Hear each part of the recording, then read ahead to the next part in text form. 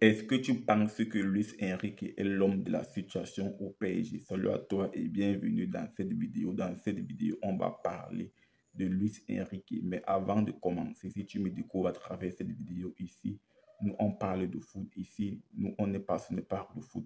Donc, si tu es intéressé par la thématique, si la thématique te parle, n'hésite pas de t'abonner d'activer la cloche de notification pour ne rien manquer des prochaines vidéos qui vont arriver sur la chaîne. Si c'est fait, on est parti. Alors les amis, est-ce que tu penses que Luis Enrique, c'est l'homme de la situation? Parce que lorsqu'on regarde son bilan, lorsqu'on regarde le bilan de Luis Enrique, c'est mitigé.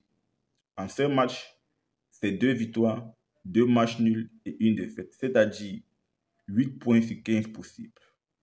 Et du coup, on se pose la question, est-ce que Luis Enrique va vraiment faire franchir un cap au PSG, notamment en Ligue des Champions Moi, je pense que si on laisse du temps à Luis Enrique, il va s'imposer.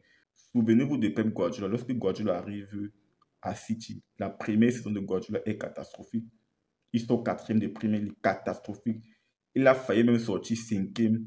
Il a failli même ne pas se qualifier pour la Ligue des Champions la première saison, mais les dirigeants lui ont laissé du temps. On lui a laissé du temps. Donc, euh, moi, je pense que si on laisse du temps à Luis Enrique, il va mettre son système de jeu en place. C'est un entraîneur de caractère. Il a du caractère il sait ce qu'il veut, il sait ce qu'il veut mettre en place. Donc, je n'ai pas de doute. Il faut juste que les dirigeants lui laissent un peu de temps. Donc, euh, partage-moi ton ressenti en commentaire. Est-ce que tu penses que Luis Enrique est l'homme de la situation du tout Et si ce n'est pas encore fait, n'hésite pas à t'abonner, d'activer la cloche de notification pour ne rien manquer des prochaines vidéos. On se dit à très bientôt pour une autre vidéo, les amis. Ciao, ciao.